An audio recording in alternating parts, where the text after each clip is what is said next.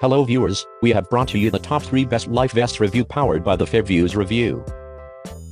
Number 3. Eyson Life Saving Equipment is one of the most professional inflatable life jacket manufacturers in China. We are famous for super good quality and after service all of our products have passed CE certification. You can find a CE mark and manufacturer date on airbag. We are running business for above 4 years, no any bad records, no one accident happened before, every single life jacket you've bought has been tested for twice, each test lasts for 24 hours.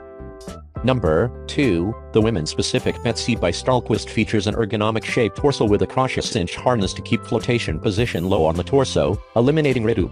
There are built-in contoured inner cups that wrap a woman's shape rather than crush. Features include two large zippered pockets, lined hand warmer pockets, ventilated shoulder and lumbar pads, a 1-inch webbing belt with forward pulls and 4-way lash tabs. Shell is 500D Cordura with a 200D Oxford liner.